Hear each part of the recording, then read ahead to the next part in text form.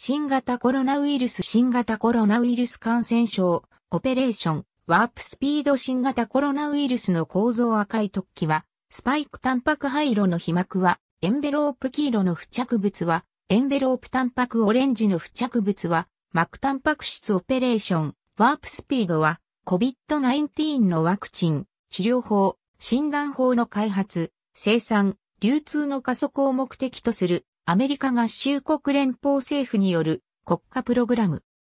これは COVID-19 のワクチン、治療法、診断法の開発、生産、流通の加速を目的とする国家プログラムでアメリカ合衆国の研究機関である疾病対策センター、国立衛生研究所、生物医学先端研究開発局、食品医薬品局、国防総省、農務省、エネルギー省、退役軍人省の連邦政府機関と民間企業が総力を結集してワクチンの開発に取り組む。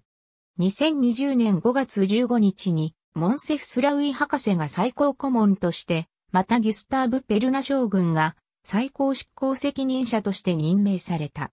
トランプ政権からバイデン政権への政権交代に伴い2021年2月末にワープスピード作戦の責任はホワイトハウスの COVID-19 対応チームに移管された。ありがとうございます。